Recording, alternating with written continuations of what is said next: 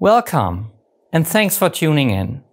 My name is Matthias Oppelt and I'm leading the Simulation Center for Process Automation in Siemens Digital Industries. And I will show you how simulation and modeling lead to more sustainability in the life cycle of process plants. But before we get technical, take a look at this picture and get inspired. Aren't forests magnificent?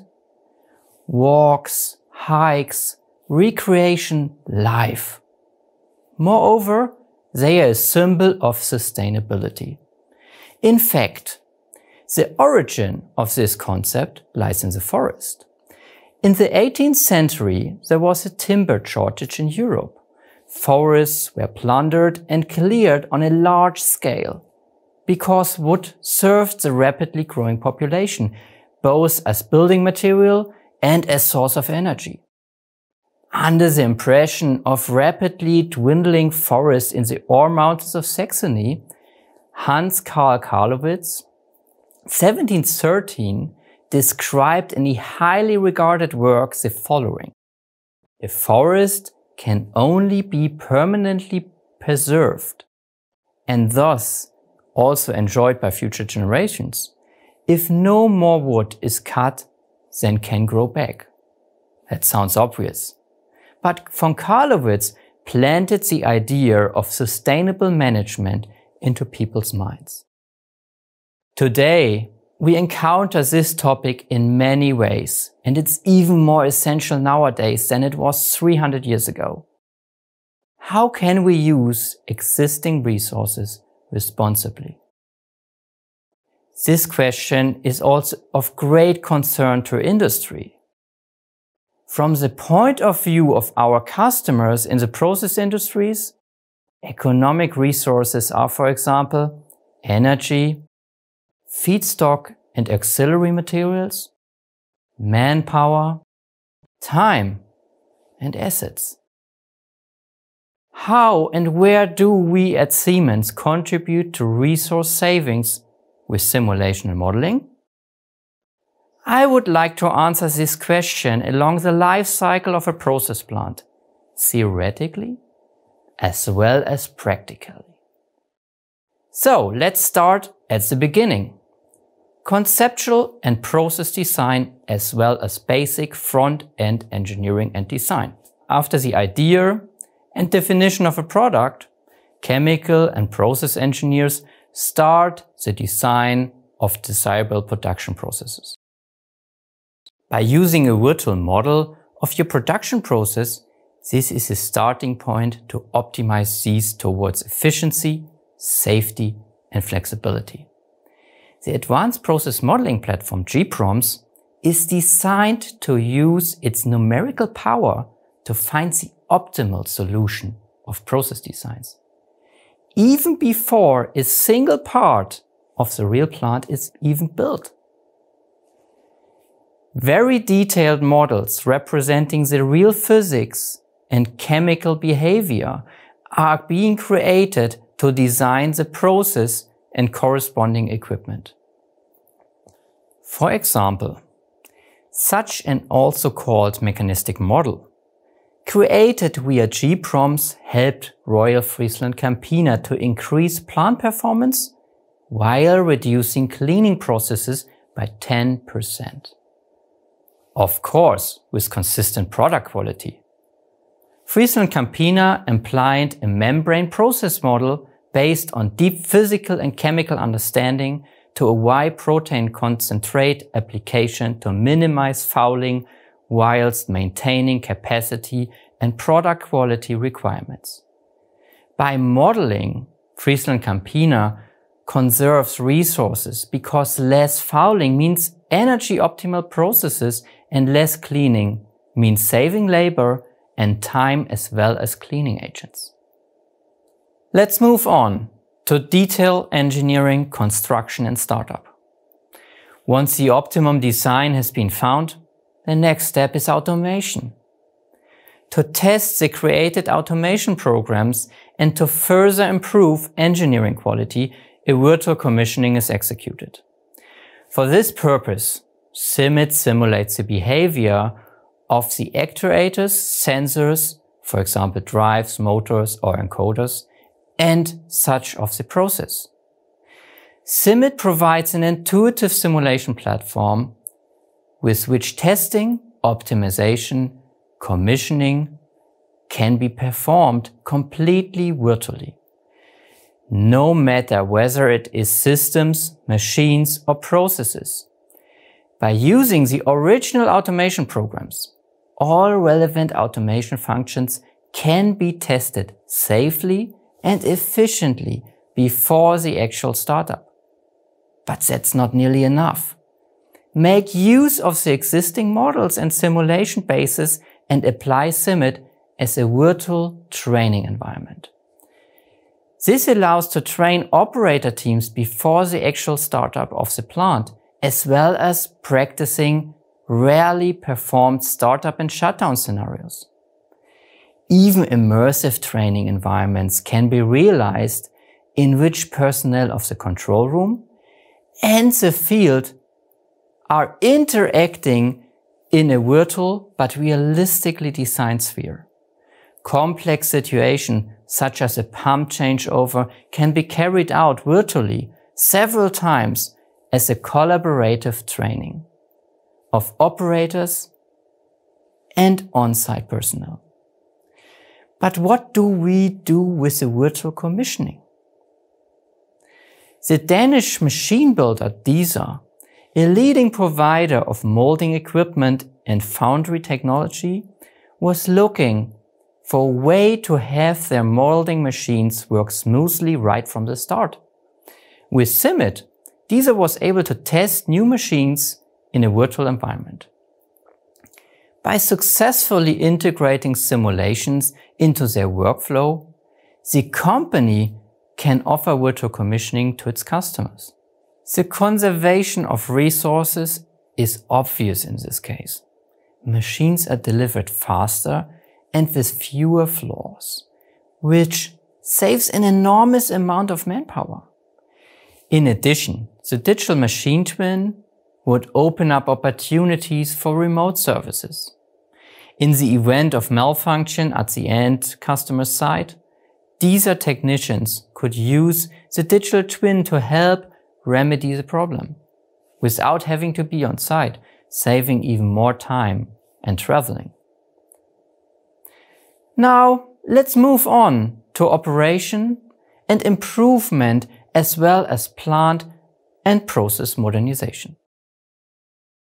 During operation phase, the gPROMS process twin can also be deployed for operational optimization, simply by being connected to the real plant and being able to tune itself to as best as possible match of the real plant state.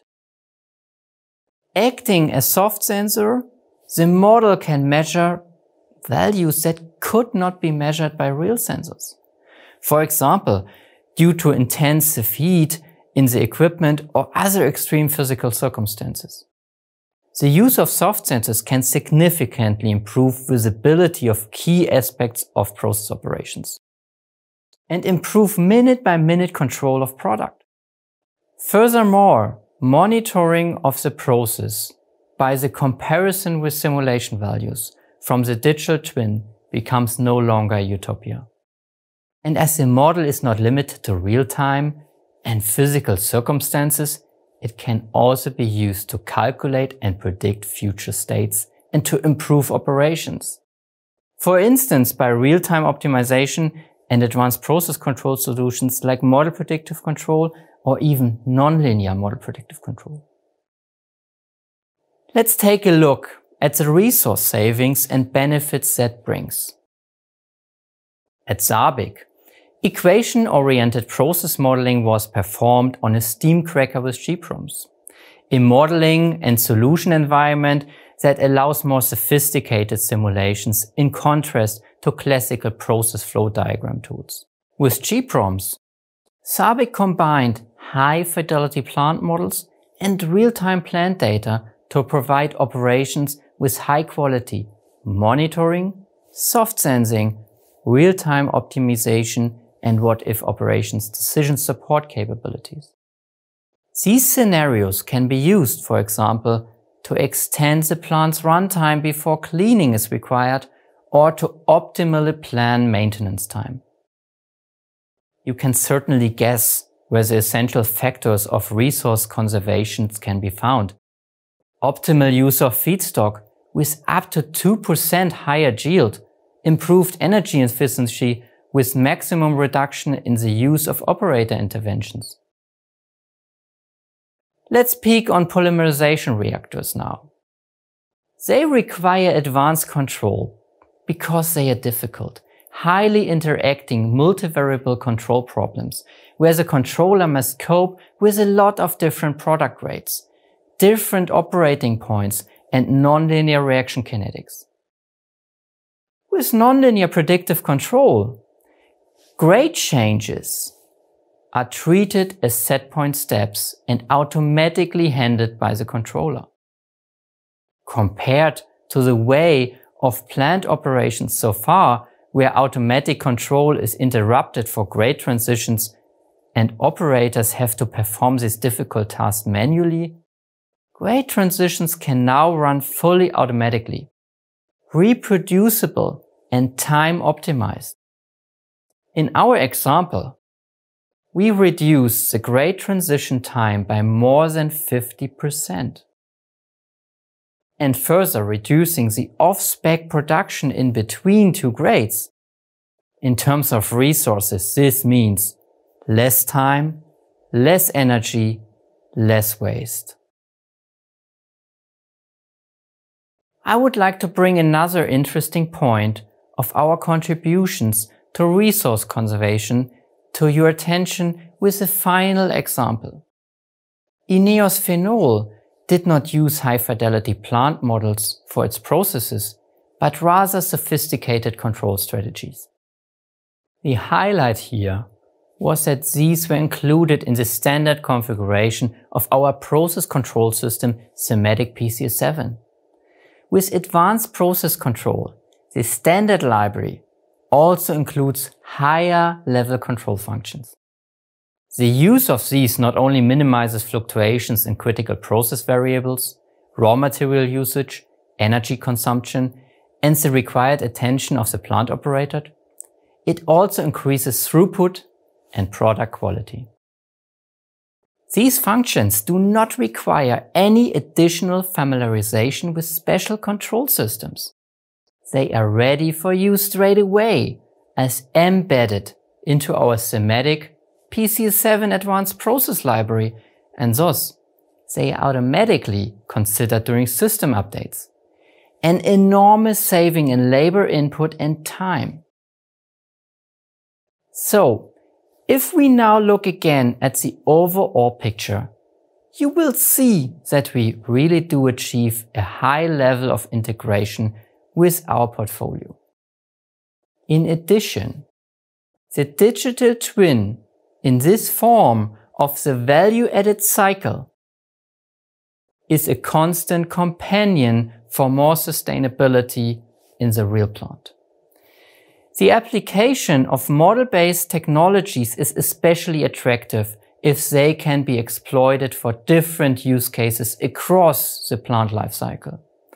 Starting from process development via detailed engineering up to virtual commissioning or respectively operator training and finally operations. This way, the investment into modeling is leveraged across the plant lifecycle. A cradle to cradle use of digital twins over the entire lifecycle maximizes the benefits for process plants especially if the simulation models are not created anew for each step, but are coupled and transferred into each other. As I have already demonstrated at individual points, this approach not only works in theory. In addition, I would like to illustrate that we have achieved a unique consistency within our product portfolio with the approach of digital twins in different aspects. This means that you can benefit from the sustainable use of models and simulation, from the planning tool Comos to our advanced process modeling with gPROMS, the SIMIT simulation platform and the use of our distributed control systems without system discontinuity. A planned, sustainable use of resources, be it feedstock, time, manpower or energy, is economically sensible, today and in future. Hans Karl von Carlowitz recognized this 300 years ago. What would he say if he knew what has emerged from his concept of sustainability today? Even the forest, which was so precious to him, is benefiting from the digital twin nowadays. The virtual forest models, real woodland as a virtual ecosystem, as well as a virtual production site, and on this basis, providing new types of information, planning and orientation basis for forestry. The aim of the virtual model is, on the one hand, to make more efficient use of our natural resources. On the other hand, digitalization serves economic efficiency and sustainability. In this way, a solid basis is created for future generations. Because whoever plants and cares for a tree does not do so for him or herself alone, but for great grandchildren.